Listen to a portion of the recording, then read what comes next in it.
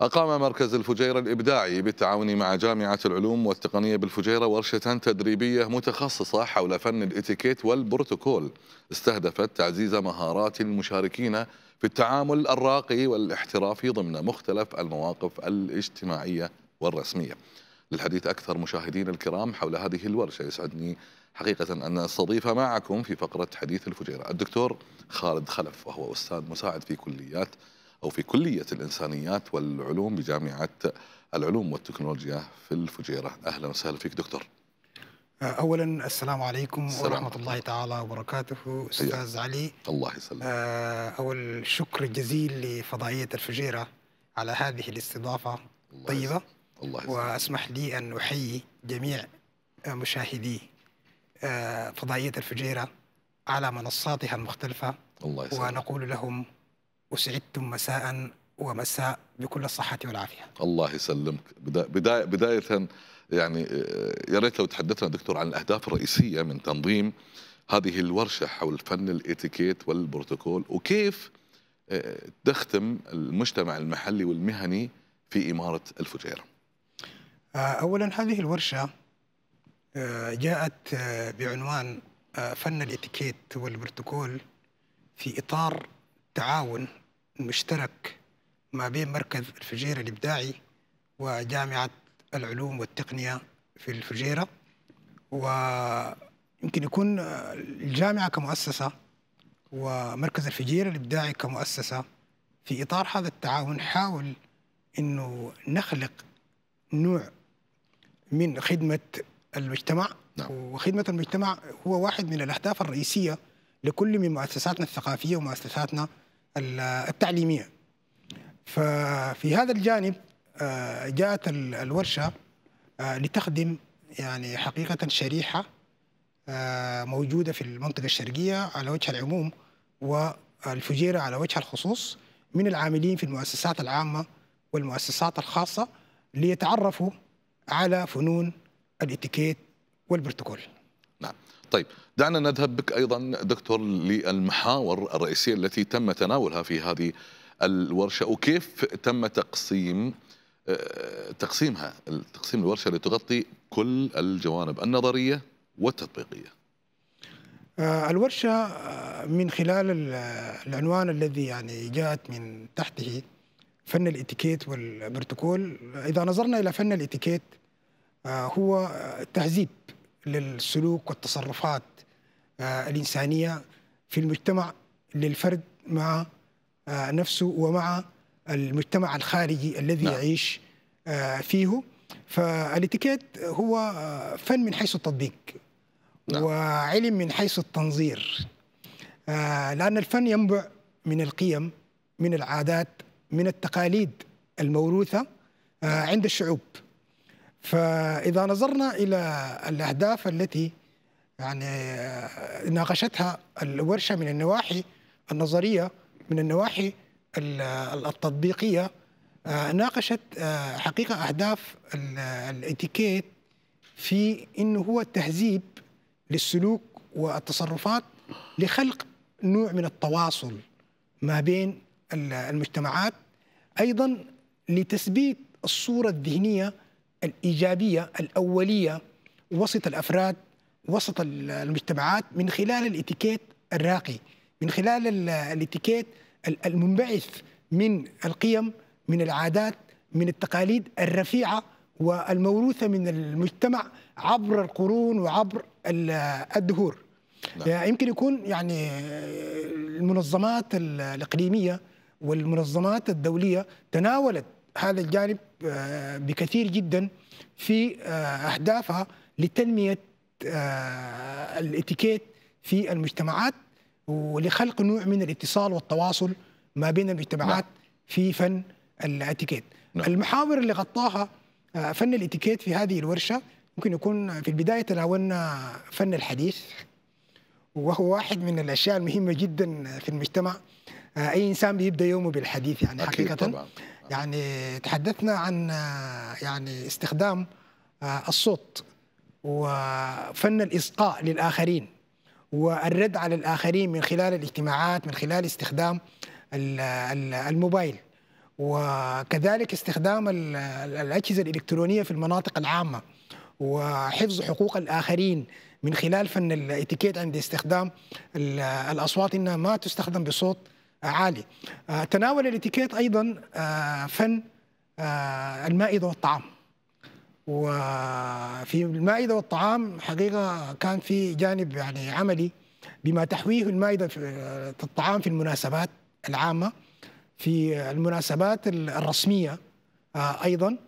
وحتى استخدامنا الشخصي للمائدة في المنزل لابد أن يكون فيه جانب من فن الاتيكيت لأنه هو تهذيب للسلوك. تناولت الورشة أيضا فن الملابس الرسمية. والملابس الرسمية هي أذواق. من خلال آه، إنه نلبس ملابس في المؤسسات الرسمية وده بيعكس الجانب الشخصية الملتزمة بالعمل الملتزمه بالمهنه نعم. آه، لأن الملبس هو سلوك. وبيعكس جانب رفيع جدا آه، من شخصية الإنسان. كذلك تناولنا الألوان المستخدمة في العمل الرسمي. والأحذية كذلك أكرمكم الله. هذا جانب حاولنا إنه أيضا نغطيه. واستخدام الملابس الرسمية غير المستخدمة في العمل في المؤسسات الخارجية في المراسم في البروتوكول. المناسبات الرسمية أيضا عندها ملابس خاصة. يعني حتى الألوان متى نستخدم اللون الأسود؟ متى نستخدم اللون الكحلي؟ متى نستخدم اللون تفاصيل كثيرة. كان في تفاصيل كثيرة تفاصيل صغيرة دكتور وكثيرة في في في هذه الورشة. دعنا آه، آه، نذهب قليلا ل آه، يعني اليوم السؤال اللي يطرح نفسه حقيقة. كيف يمكن أن لفن الإتيكيت والبروتوكول بأن يسهم في رفع مستوى الأداء التنظيمي والتمثيل الرسمي؟ للمؤسسات الحكومية اليوم إحنا نتكلم وحتى الخاصة. هو الناظر إلى الاتيكيت بما أنه هو يعني تهذيب للسلوك. آه وهذا نابع زي ما قلنا من القيم والعادات والتقاليد. نجد إنه البروتوكول هو قوانين وإجراءات رسمية للسلوك.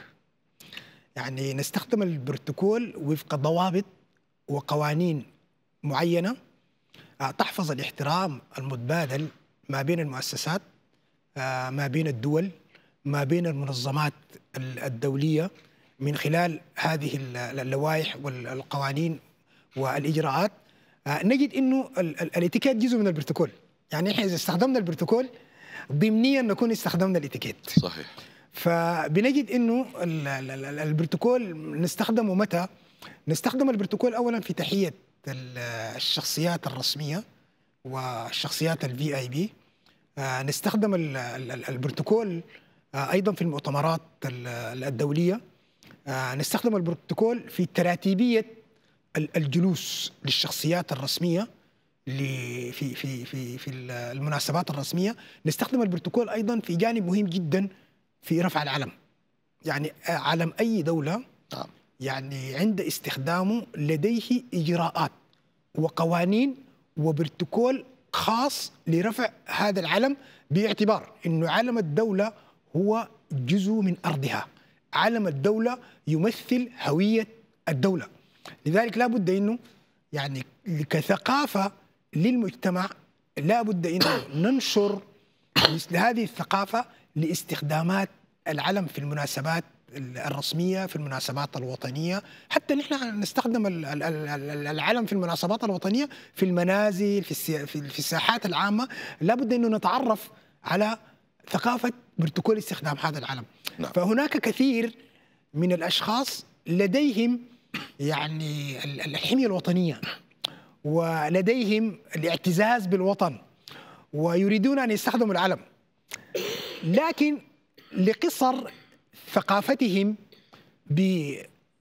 بمعرفة القوانين والإجراءات والضوابط لاستخدام هذا العلم قد يستخدموه بطريقة خاطئة وتكون غير مقصودة تكون. غير مقصودة فنحن دورنا كمؤسسات علمية ودورنا كمؤسسات مجتمعية لابد إنه ننشر مثل هذه الثقافات في المجتمع. نعم. طيب دكتور هناك نقطة أنا أعتقد أنها مهمة جدا وما أعرف إذا تمت مناقشة آه، آه، موضوع تأثير الثقافة المحلية على أسلوب تطبيق الإتيكيت والبروتوكول في دولة الإمارات العربية المتحدة. اليوم كيف يمكن تحقيق التوازن بين القيم والعادات والتقاليد المحلية والمعايير الدولية؟ آه، هو الحقيقة ال- ال- الناظر لفن الإتيكيت بيجد أنه آه، دولة الإمارات العربية المتحدة لديها يعني آه، مخزون آه، كبير جدا من القيم من العادات من التقاليد الموروثة ويعتبر هذا أرضية ثابتة لفن الإتيكيت كجانب نظري. لا بد أن ننقل هذا الجانب إلى الجانب العملي من خلال تواتر فن الإتيكيت عبر الأجيال. يعني نحن من من من من, من وقت آه، يعني أولي بسيط بنعلم الطفل نعم. كيف يستقبل الضيوف ويجلسهم نعلم الطفل كيف يحمل آه، دلة القهوة ويقدمها للضيف.